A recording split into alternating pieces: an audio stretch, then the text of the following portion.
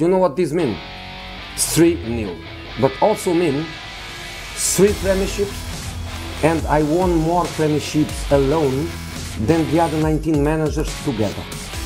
Three for me and two for them. Respect, respect.